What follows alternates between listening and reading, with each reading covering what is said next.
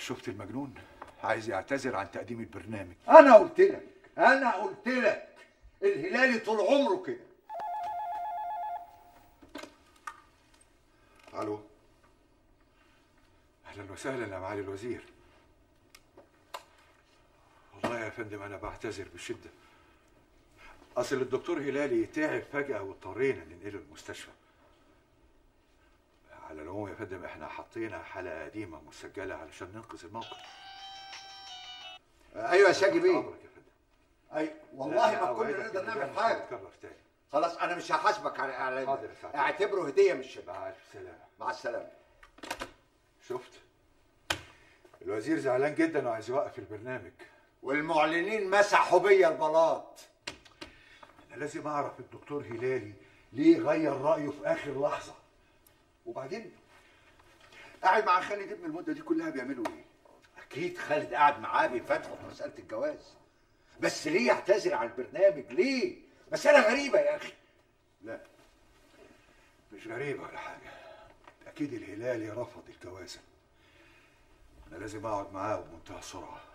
بس قبل ما أقعد معاه لازم أقعد مع خالد ابني وأعرف إيه الموضوع بالظبط. أكيد في حاجة. أكيد باباكي شافه قبل كده أو قابله مع أبوه. يا ماما ده ما كانش فاكر اسمه من قبل ما يجي. واول ما شافه كأنه شاف شيطان طلع له من تحت الأرض. حاجة غريبة قوي تصوري ما ادالوش فرصة حتى إنه ينطق وطرده. أنا مش عارفة بس خالد هيكون عمل إيه. أكيد في حاجة حصلت بين بكري سلمان وأبوكي. أيوه هتحصل إمتى؟ ما إحنا متعشين مع بعض امبارح كلنا وتاني يوم الصبح. بابا قابل خالد. بابا حضرتك عملت إيه مع خالد؟ زينب انسي موضوع خالد ده خالص. الصفحة دي تتقفل نهائيا. ليه يا بابا؟ خالد ماله؟ عشان ده آخر واحد في الدنيا ممكن أحط إيدي في إيده. دول ناس مليونيرات معاهم فلوس متلتله محدش عارف جابوها منين. أنا ما بقاش بنت ولا اسمي بكنوز الدنيا. أنا يعني إيه مصطفى الهلالي يناسب باكر سلمان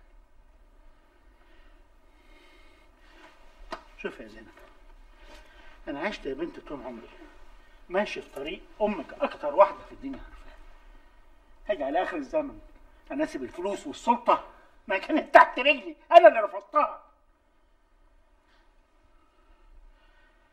أنا كمان بمر بمرحلة دقيقة جدا دلوقتي في حياتي. مش عايز كلام اشاعات ممكن تنال من سمعتي. بابا. خالد ذنبه إيه يا بابا؟ ذنبه إن ابن بكري سلمان وإن ابوه غني؟ هي جريمة. ده امبارح قلت لي يا مصطفى إن الراجل ده كويس قوي ومحترم وبيعمل خير كتير. إيه اللي غير رأيك فجأة كده؟ أنا فكرت كويس لكن ده أحسن قرار خدته.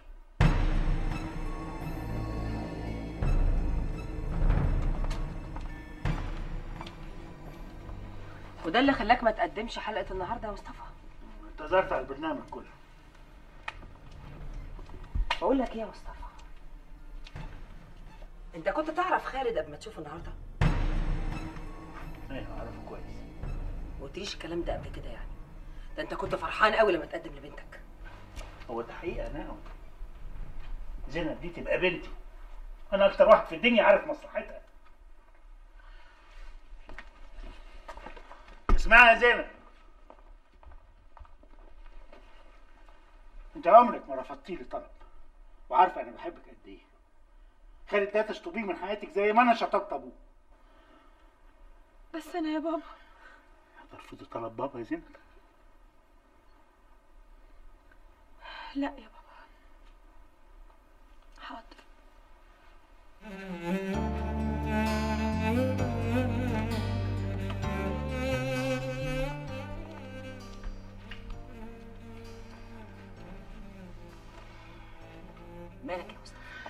هتخنق يعني. أنا هفرقع في إيه بس؟ أنا بيتلعب بيا الدنيا كلها بتلعب بيا. بكري بيه سلمان الراجل الملياردير ده اللي معاه فلوس الدنيا. عايز يجوز ابنه البنت دي. وأنا حلت حاجة. يا مصطفى أنت أي حد يتمنى يناسبك؟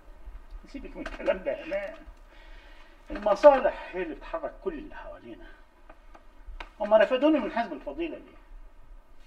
فصلوني من الجامعة ليه؟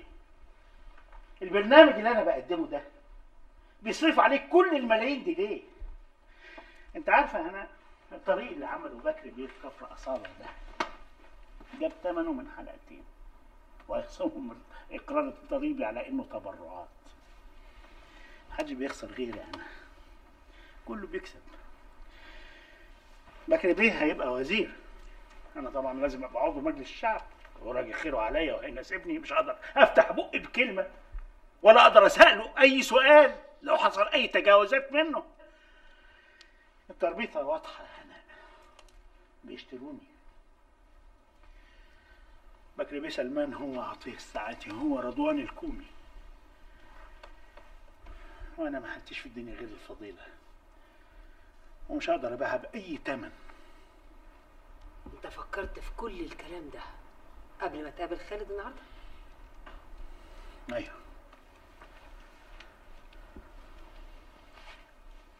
ما فكرتش يا مصطفى إن بنتك ممكن تكون متعلقة بخالد؟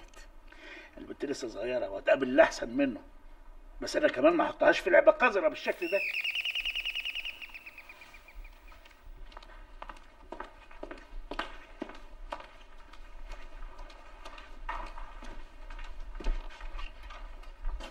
بكري بيه أهلا وسهلا معلش إن أنا جيت كده على طول من غير ميعاد علشان البيت بيتي. طبعا بيتك. اتفضل حضرتك. في بقى يا ستي الأستاذ الحرام ده. أهلا يا بكر اتفضل بقى دي عاملة تعملها فينا يا راجل وقعت قلبنا. اتفضل. اتفضل استريح اتفضل. لا لا لا لا. إيه الوش ده؟ ياه. انت شايل مني قوي. جرى يا دكتور أنا عملت فيك حاجة. إحنا لسه امبارح متعشين مع بعض وكنا سمنة على العسل. آه. أكيد عشان أنت اللي دفعت الحساب. معلش أصلي متضايق شوية. هو ده بقى يا سيدي اللي جابني على ملا وشي إيه الحكاية؟ انت مش عايز تقدم البرنامج؟ ولا يهمك. في داهية 100 برنامج. يا أنا اللي يهمني أنت وبس. وشوف أما أقول لك إذا كان خالد ابني ضايقك في حاجة أنا أقطم لك رقبته. في إيه تاني بقى؟ أنا عارف إن الخبطات عليك كانت كتيرة قوي اليومين اللي فاتوا دول. بس أنت جبل. جبل يا دكتور هلالي. عارف كمان إن موضوع الجامعة ده مضايقك ومقصر فيك لكن أنا قلت لك أصبر. أصبر وكل اللي راح هيرجع تاني وأحسن من الأول كمان. أنا بس مش عايز أقول لك أنا عملت إيه. قلت أستنى لما الحاجة تخلص وبعدين أبلغك. أنا يا سيدي كنت مع رئيس الوزارة النهاردة الصبح وكلمته في الراجل وعدني إنه هيكلم رئيس الجامعة علشان ترجع تاني. والله يا دكتور والله ومالك عليا يمين كل حاجة هتخلص. بس ما فيش داعي بقى نعقدها على نفسنا قوي كده ونحبط. تشرب إيه يا بكري بيه؟ لا بعد إذن حضرتك بقى أنا لا هشرب ولا هاكل لحد البيه جوزك ما يفردها شوية. إيه ده ده انت بخيل بخل الراجل ما صدق إنه سمع مني الكلمتين دول والتكشيرة كترت. إيه؟ ما انتش عايزني أحط حاجة بقي عندكم ولا إيه؟ طب إيه رأيك بقى؟ بالعند فيك أنا هاكل. بعد إذنك يا هانم هاتي لي أي حاجة عندكم أكلها. أنا أصلي بصراحة على لحم بطني من الصبح والسبب جوزك. أنا عندي مكرونة ولحمة محمرة. حلو قوي قوي قوي قوي تخير ربنا ونعمة. حالا يا بكري.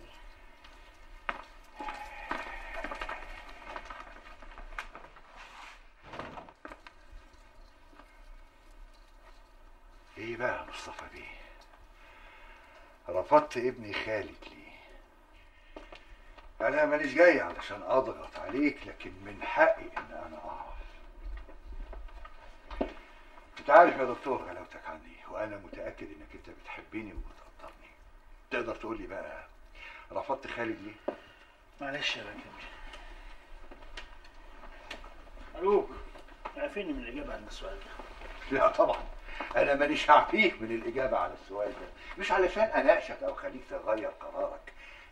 جايز يا أخي يكون في حاجة غلط عندي عند خالد وأقدر أصلحها. يا بكر بيه إحنا ناس مستوانا المادي على قدنا. ما حبش بنتي لما تيجي تتجوز تتجوز واحد مستواه المادي أعلى. يا سيدي إحنا اللي جينا وإحنا اللي مادين إيدينا وشاريين وبعدين أنت مالك؟ دي حياتهم هم. إحنا مالناش دعوة بيها خالص. وبعدين افرض يا أخي إن زينب بنتك الله لا يقدر. راحت حبت واحد فقير ما حلتوش اللضه وجت قالت لك يا بابا أنا عايز اتجوز ده كنت هترضى؟ إذا سمحت يا بكر بيه نقفل على الموضوع ده. لا يا دكتور مصطفى. الحكاية بقى مش حكاية تفاوت في المستوى المادي. أنا خالد حكالي على كل حاجة. حكى لك إيه؟ حكاية البنت اللي يعرفها وأنت شفته وهو معاها يا دكتور يا دكتور ده شاب ولازم يعيش حياته وإحنا كلنا مرينا بالفترة دي. بعدين لما بيلاقي إنسانة طيبة ومتربيه وبنت ناس. خلاص.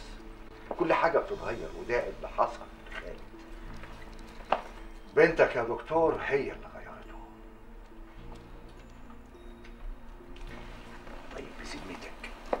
بذمتك وانت شاب في سنه كده ما كنتش بتلعب بديلك كده ولا كده؟ ده انت أكيد أكيد كنت مسخرة. ابنك يا بكر بيه ضيع البنت دي. قضى عليها. مفيش حد بيضيع حد يا عم هلالي. إيه؟ حتة بنت صايعة وملهاش أهل. ابني مشي معاها يومين وخلاص سابها. هنمسك بقى في الواد والبنت ونحطمهم ونقف في طريقهم عشان واحدة صايعة.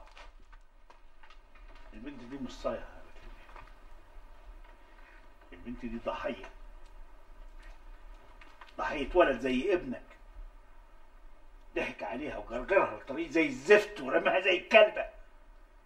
وضحيه واحد زيك. يدي الحق لابنه يلعب بالناس من غير ما يتحرك ضميره. وضحيتي ضحيتي أنا كمان. لو سكت وكافئت الولد ده وجوزته بنتي. إيه ده إيه ده؟ أنا ماليش فاهم أنت مهتم قوي بالبنت دي كده ليه؟ سيدي اذا كانت عايزة حاجة نقف جنبها الفلوس ما تقدرش على كل حاجة يا ماليش فاهم انت عايز مني إيه. انت عايزني اجوز ابني لبنت صايعة مشي معاها يومين وسابها ويسيب بنتك المتربية المؤدبة اللي مش قادر يعيش من غيرها. بكر بيه أنا ما عنديش بنات. للجواز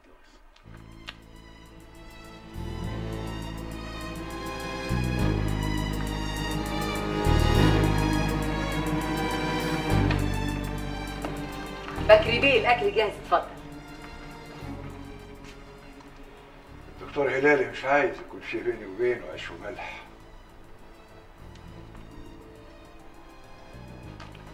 عن إذنك يا هانم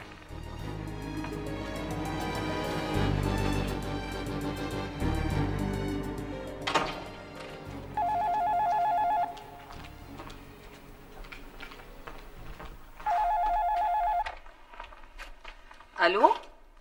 أيوه يا فندم. مين عايزه؟ نانسي. دقيقة واحدة. أيوه. أنا آسفة إني كلمتك في البيت بس أنا قلقت عليك قوي. تليفونك مقفول طول اليوم وقلقت عليك أكتر لما لقيتهم بيذيعوا حلقة متعادة. أنت كويس؟ أيوه أنا كويس ما فيش حاجة. لا أنا مش هعمل البرنامج ده تاني خلاص طب أنا عايزة أشوفك. أصلك وحشتني قوي قوي حلمت بيك امبارح. بحبك. بحبك قوي مش دي البنت اللي انت كلمتني عنها؟ أكلمها. ألو؟ ألو؟ ألو؟ ألو؟ أيوه يا طنط ازي حضرتك؟ لا أنا تمام كويسة. وازي زينب. لا إن شاء الله هروح لها المعرض بس أول ما أخف. ميرسي يا طنط. ميرسي قوي. bye bye.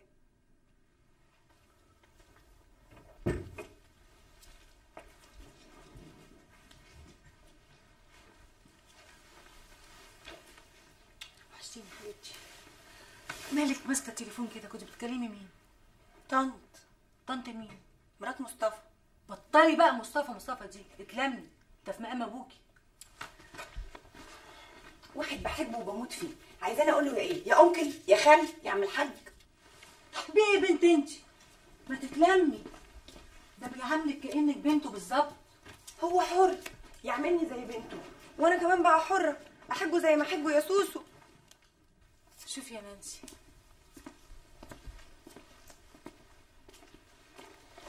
شوفي يا حبيبتي أنا مسافره يوم الخميس وعايزة أقول لك على حاجة مهمة قوي أنا عارفة إن أنت ملكيش حد في الدنيا يا حبيبتي. بس لو عمك ولا عمتك حاولوا يستفردوا بيكي ولا يتصلوا اوعي تروحي. ما تروحيش غير للدكتور مصطفى الهلالي هو ده الوحيد اللي في الدنيا كلها بثق فيه. في إيه يا ماما؟ أنت محسنة إنك هتقعدي هناك كتير قوي مش قلتي إنك رايحة وراجعة على طول.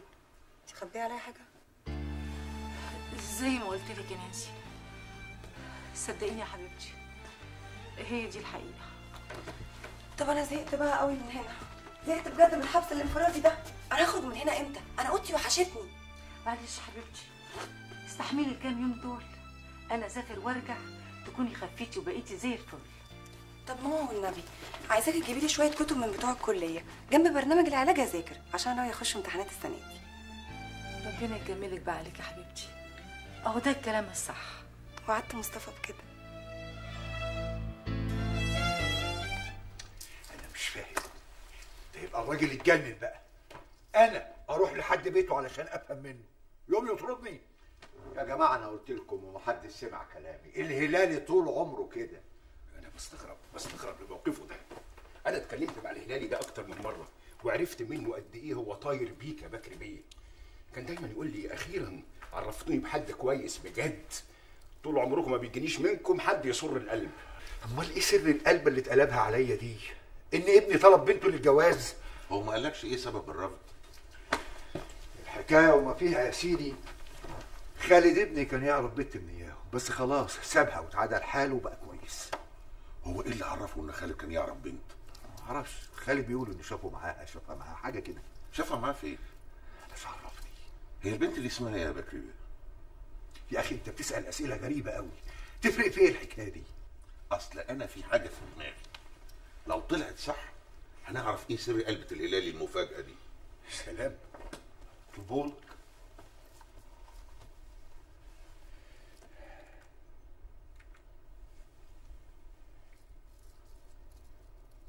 أيوه يا خالد.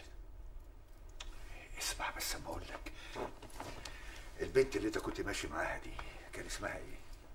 يا سيدي عارف إن ما كانش في بينك وبينها أي حاجة بس قول لي اسمها إيه؟ طيب. اسمها نانسي بس خلاص. أنا كده عرفت كل حاجة. والهلالي عنده حق إنه يعمل أكتر من كده 100 مرة. ليه بقى؟ لأن نانسي دي تبقى بنت الهلالي. بنته إزاي؟ أنتوا فاكرين لما الهلالي جالنا فجأة وقال إنه واقع في مشكلة مع سعاد الصيفي الرقاصة؟ لما قالت له إنها مخلفة منه بنت في الحرام. أيوه طبعا. هشام أنت عايز تقول إن البنت اللي بيقول عليها خالد تبقى هي البنت دي؟ أيوه بس الموضوع ده خلص خلاص و... والهلال نفسه قال إنها كانت تهريجايه وانتهت. لا الموضوع ما خلص. والهلالي طلبني مرة بالليل ونزلت معاه رحنا معاه الديسكو عشان نجيبها من هناك. وكانت حالته زي الزفت. أيوه هشام بس أنت ما قلتلناش على الحكاية دي قبل كده. لأنه طلب مني كده. وقال لي مش عايز أي حد يعرف الموضوع ده. وأنا احترمت رغبته. بس بس بس بس بس بس بس أنا فهمت الموضوع. ده الحكاية دي خطيرة قوي الراجل فعلا يبقى معذور. وأنا عمال أقول له بنت صايعة وملهاش أهل وهو أبوها. إيه لخبطت الدنيا من غير ما أقصد. بس ده الراجل ده فعلا يبقى في ازمه ربنا معاه. ده حتة ورقة مزورة ملهاش قيمة قلبت الدنيا عليه. أمال لما الناس تعرف إنه مخلف بنت من الحرام هيبقى موقفه إيه؟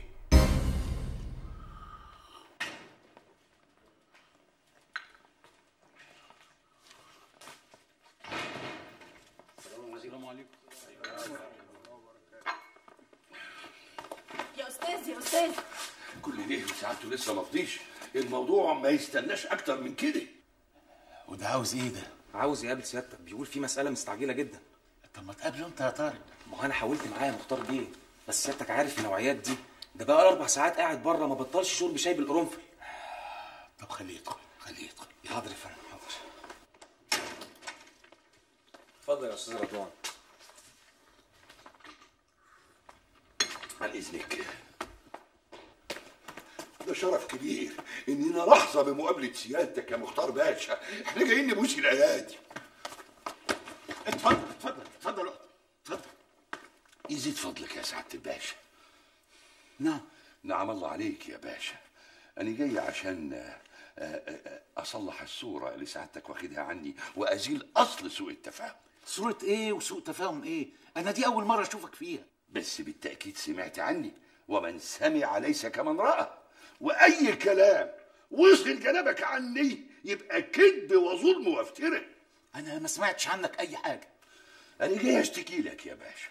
تشتكي لي من مين؟ من عطية به الساعاتي وعطية بيه ساعاتي عمل لك إيه؟ داير في البلد يا سعادة الباشا يقول إني أنا خدت منه فلوس وأنا أمتص في نواظر يا باشا إذا كنت خدت منه حاجة. هو صحيح يعني إحنا في أيام انتخابات؟ وكل مرشح طبعا بيحاول يطلع القطط الفاطسه في المرشح المنافس. إنما توصل إنه يتهمني إن أنا أمد إيدي وآخد فلوس طب آخد منه فلوس بتاع إيه؟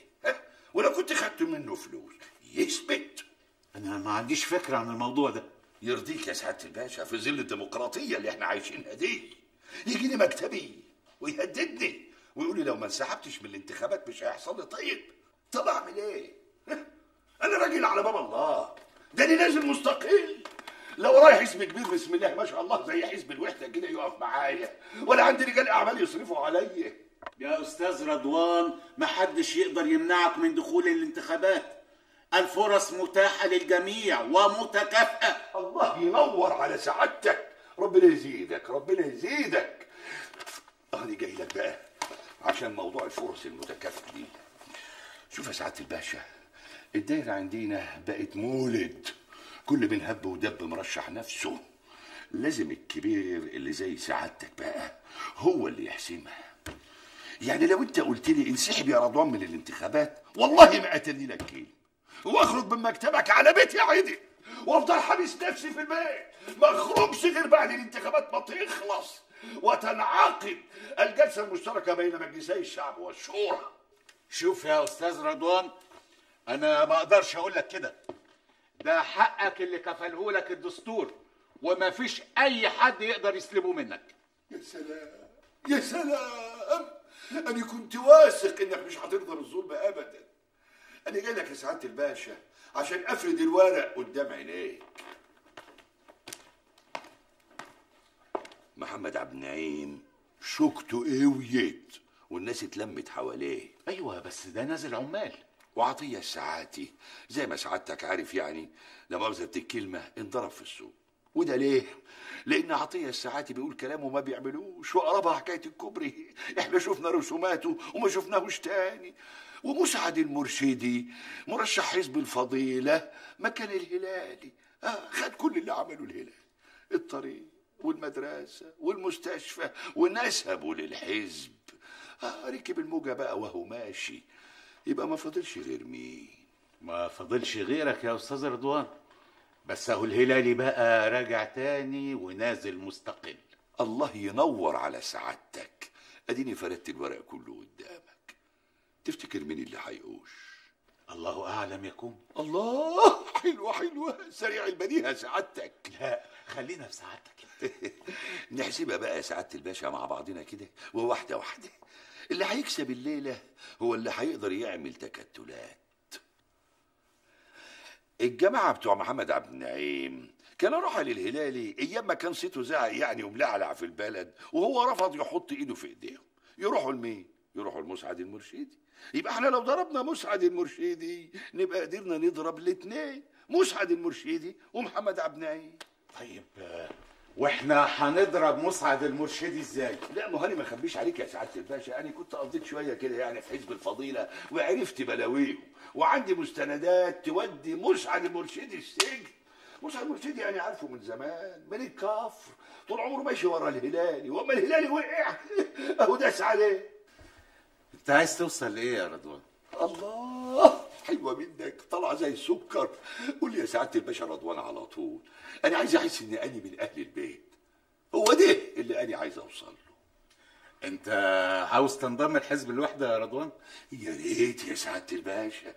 أهو برضو وقفتكم جنبي ومباركتكم ليا هتقويني.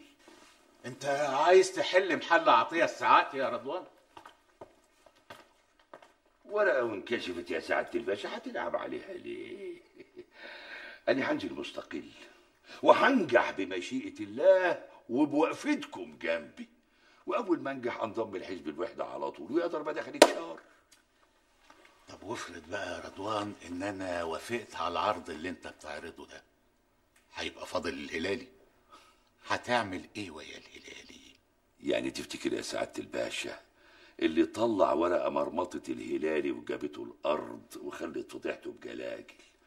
ما عندوش ورقة تانية. لا مؤاخذه يا سعاده الباشا أصل أنا غاوي ورق. أي حتة ورقة قديمة أحتفظ بيها ومرميهاش حتى لو كانت قصقوصه من ورقة بردي من أيام الفراعنة.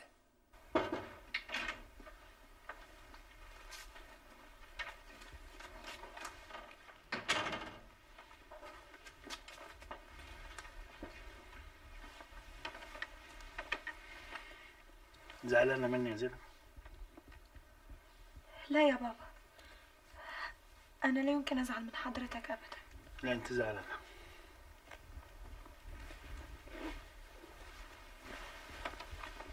لا يا بابا. أنا مش زعلانة ولا حاجة. بس أنا مش فاهمة. أنا فهمت.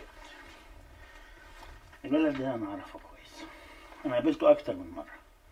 أنا يمكن ما أعرفش إنه ابن بكر سلمان بس يكون أبوه وقف جنبي ولا ساعدني. ده مش معناه إن أنا اغفر للولد ده اللي عمله واللي شفته بعينيا. طب إيه اللي عمله خالد يا بابا؟ وحضرتك شفته فين؟ شفته في كل الأماكن اللي ما يصحش يكون فيها. شفته سكران وبيتخانق في الديسكو. وشفته في القسم مقبوض عليه. وشفته وهو بيشرب مخدرات. والأهم من كل ده يا زينب الإنسان اللي أنت عايزة ترتبطي بيه ده دمر حياة بنت مسكينة. أكبر منك بسنة واحدة. طب وإيه اللي خلى حضرتك تروح الأماكن دي؟ أنا كنت بنقذ البنت دي من الولد ده. والبنت دي طبعا نانسي مش كده؟ أيوه زينب كده. حتى لو كان خالد عمل كده فعلا يا بابا. ليه ما تقولش إن نانسي هي اللي غلطانة مش خالد؟ تفتكر حضرتك لو بنتك زينب مكان نانسي كانت هتلاقي نفس المصير ده؟ لا طبعا. ليه؟ علشان أنا ربيتك على الأخلاق والفضيلة. نانسي يا بنتي حظها وحش ما لقيتش الأب اللي يربيها ويعلمها ويوجهها للطريق الصح. أنا مش عارفة حضرتك بتدافع عنها كده ليه؟ مع إنها غلطانة. ليه بتحمل خالد كل المسؤولية؟ ليه ما تقولش إن هي اللي شجعته على كده؟ عشان البنت جواها نظيف وكويس أنا متأكد يا زينب. وإيه اللي مخلي حضرتك متأكد قوي كده؟ عشان أنا عارفها كويس يا حبيبتي وأنت عارفة حكم على الناس. عموما يا بابا أنا ما أقدرش أعمل أي حاجة حضرتك مش راضي عنها. أنا قفلت الموضوع ده خلاص. لأنك أغلى حد عندي في الدنيا كلها.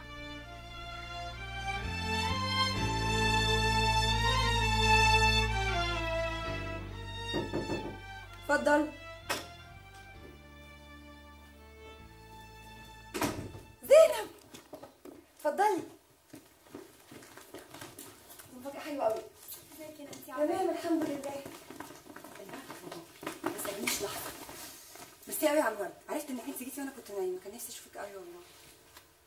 المرة دي أنا جايلك لوحدي ومن غير ما بابا يعرف. يا أهلا وسهلا. انت كنتي بتذاكري؟ لا يا حبيبتي أنا بقرأ كلمتين بس بنعوض اللي فات. يعني مش عايزة أكون عطلتك. لا لا خالص يا ريت تعطلني. ده أنا قاعدة في حبس انفرادي. أم، نانسي لو سألتك س- سؤال ممكن تجاوب عليه بصراحة؟ صراحة؟ ده أنا مدام. تفتكري لو حبيتي إنسان والإنسان ده ما حبكيش؟ تفتكري يبقى مذنب ويدفع تمن إنه ما حبكيش؟ باباها قال لها ولا إيه؟ هو مصطفى ده ما بيقبلش شوية. تشربي إيه يا زينب؟ تشربي إيه يا حبيبتي؟ ولا حاجة ما ردتيش عليا.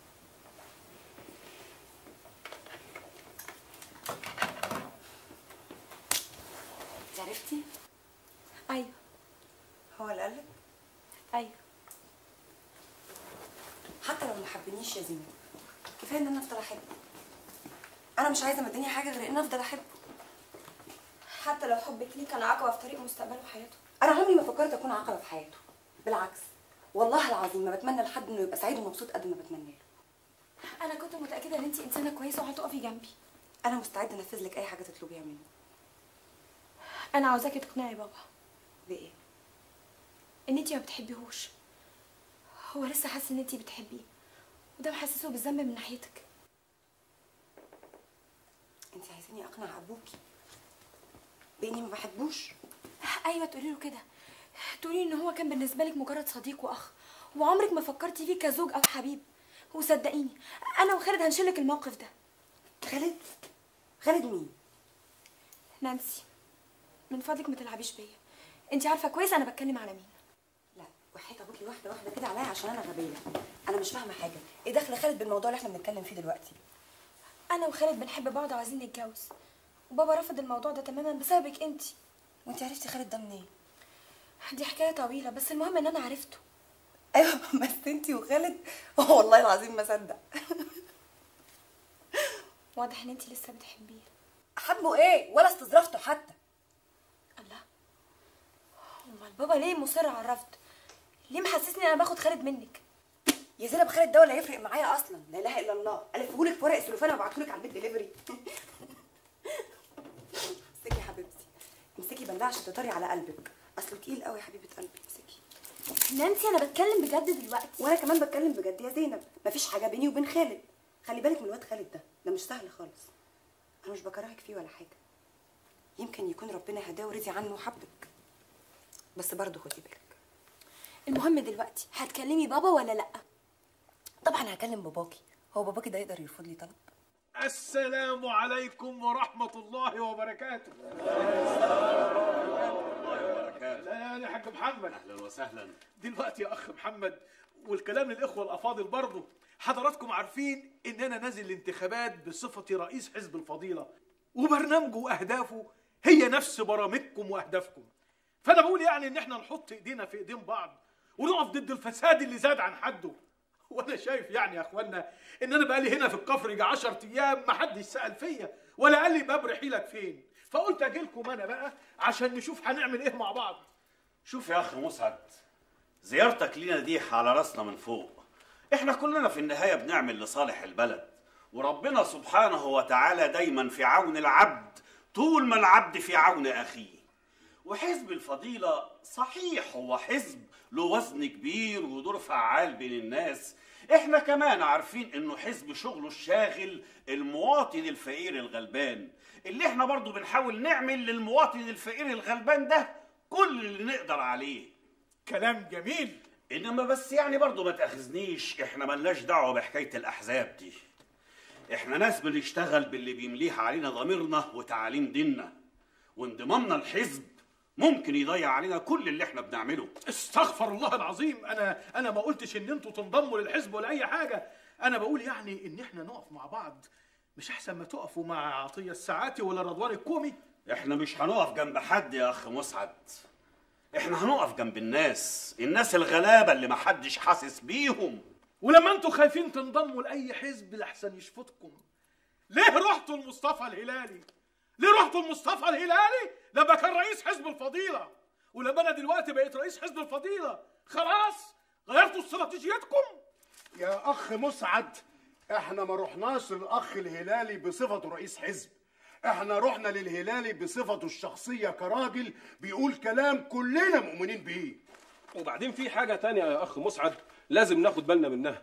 إحنا شايفين ان هو اللي هيبقى واحد مننا مش إحنا اللي هنكون جزء منه. السلام عليكم ورحمة الله وبركاته.